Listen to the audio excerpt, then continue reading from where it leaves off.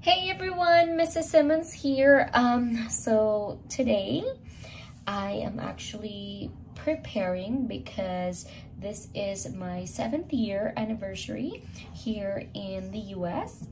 So I immigrated back in 2016 and now it's 2023. And so we have this tradition for seven years now that um, me and my husband, um, we will be going to Fuji. It's a Japanese restaurant here, local in our place. So get ready with me guys and I'll show you how it looks. Okay, today.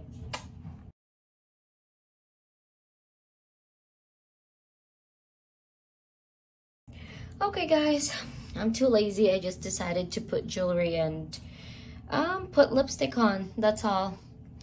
Anyways, um, okay, we will be heading out now, guys. So see ya. I'm gonna show you the delicious food. They're very famous of their sushi. So I will see you guys. Okay, guys, we have arrived here in the Fuji restaurant and they gave me this, what is this, like vegetable salad? But This is really good. So, bon appetit, guys. Yum. Okay, guys, here is the hibachi steak or steak hibachi. Yummy. Yum.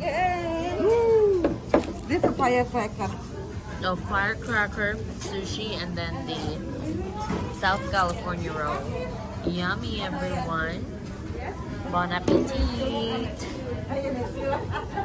I'm so excited to taste this um, firecracker. I'm gonna taste the firecracker first before I touch anything else.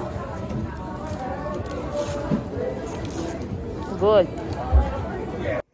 Hey guys, date night is over. Um, so that was uh, that was really nice and really good. Uh, we get some leftovers. I'm gonna get like four sushi left in here. Anyways, I hope you enjoy that. That was just quick, and I hope everyone has a happy new year and have a great night, everyone. See you next time. Mrs. Simmons, love you.